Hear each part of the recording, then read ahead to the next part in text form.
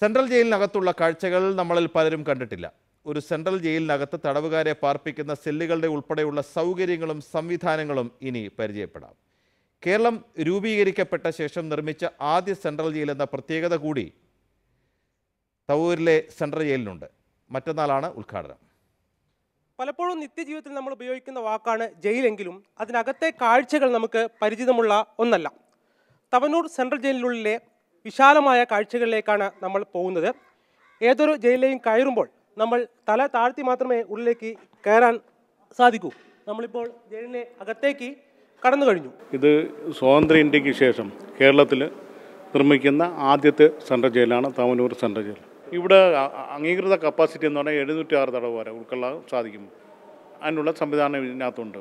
അപ്പോൾ അതിനുവേണ്ടി ആധുനിക രീതി ആധുനിക രീതിയിലാണ് ഇത് സജ്ജമാക്കിയിട്ടുള്ളത്. ആറു മാസം മുതൽ വധശിക്ഷ വരെ വിധിക്കപ്പെട്ട തടവുകാരെയാണ് സെൻട്രൽ ജയിലിലെ വിവിധ ബ്ലോക്കുകളിലും സെല്ലുകളിലും പ്രവേശിപ്പിക്കുക. നമ്മൾ തവനൂർ സെൻട്രൽ ജയിലിലെ ഒരു ബ്ലോക്കിലേക്കാണ് ഈ കയറുന്നത്. ഇത്തരം മുപ്പത് ബ്ലോക്കുകളാണ് ഈ തവനൂർ സെൻട്രൽ ജയിലിൽ ഒരുക്കിയിരിക്കുന്നത്. മൂന്ന് നിലകളിലായിട്ടാണ് ഈ ബ്ലോക്കുകൾ ഉള്ളത്. ഇതിനകത്ത് പതിനേഴ് പേരെ താമസിപ്പിക്കാൻ പറ്റും. ഇതിനോട് ചേർന്ന് ചെറിയൊരു ശുചിമുറിയുണ്ട് വാഷ് ബേസ് ഉണ്ട്. അവരുടെ അത്യാവശ്യ സാധനങ്ങൾ വെക്കാൻ ഒരു സ്ഥലമുണ്ട്. ഇങ്ങനെ മുപ്പത് ബ്ലോക്കുകളിലായി അഞ്ഞൂറ്റി പത്ത് തടവുകാരെ ഇവിടെ പാർപ്പിക്കാൻ പറ്റും. ബഹുമാനപ്പെട്ട ഡി ജി പി സാറിന്റെ നിർദ്ദേശപ്രകാരം ഇരുന്നൂറ് തടവുകാർ വിയൂർ അതുപോലെ തന്നെ കണ്ണൂർ ജില്ലകളിൽ നിന്ന് ശിക്ഷ അനുഭവിക്കുന്ന ഇരുന്നൂറ് തടവുകാരെ ഇങ്ങോട്ട് ഫസ്റ്റ് ഘട്ടത്തിൽ മാറ്റും. ജയിലിലെ ഏറ്റവും പ്രധാനപ്പെട്ട ഭാഗമാണ് സെല്ലുകൾ. ബ്ലോക്കിൽ നിന്നും വിഭിന്നമായി കൂടുതൽ വലിയ കുറ്റം ചെയ്ത കുറ്റവാളികളെ പാർപ്പിക്കുന്ന ഇടമാണ് സെല്ലുകൾ. പണ്ടൊക്കെ ഒരു സെല്ലിൽ ഒരു കുറ്റവാളിയെ ഇടുന്നതായിരുന്നു പതിവ്. ഇപ്പോൾ അങ്ങനെയൊന്നുമില്ല.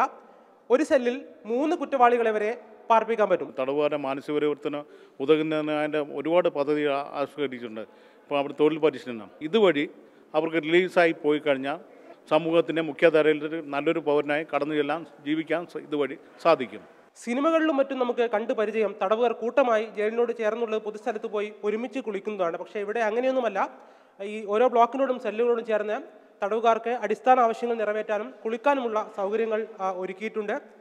ഇതുപോലെയുള്ള ഏഴ് ശുചിമുറികളും ഏഴ് കുളിമുറികളുമാണ് ഓരോ നിലയിലുമായി ഒരുക്കിയിരിക്കുന്നത്. നമ്മൾ പാലക്കാട് കോഴിക്കോട് മലപ്പുറം ഈ ജില്ലകളിലെ പ്രതികളാണ് ഇവിടെ നമ്മൾ കൂടുതലും പാർപ്പിക്കാൻ സാധ്യത. സെൻട്രൽ ജയിലിൽ ഓരോ തടവുകാർക്കും ഓരോ ജോലി നിശ്ചയിച്ചിട്ടുണ്ട്. നമ്മളിപ്പോൾ ഉള്ളത് അടുക്കളയിലാണ്. തടവുകാർ തന്നെയാണ് ഭക്ഷണം ഇവിടെ പാചകം ചെയ്യുക. ഭക്ഷണത്തിന്റെ സമയമാകുമ്പോൾ മണിയടിക്കും. അതിനുശേഷം ഈ ഭക്ഷണം ഉദ്യോഗസ്ഥരുടെ സാന്നിധ്യത്തിൽ ബ്ലോക്കുകളിലെത്തി വിതരണം ചെയ്യുന്നതാണ് രീതി.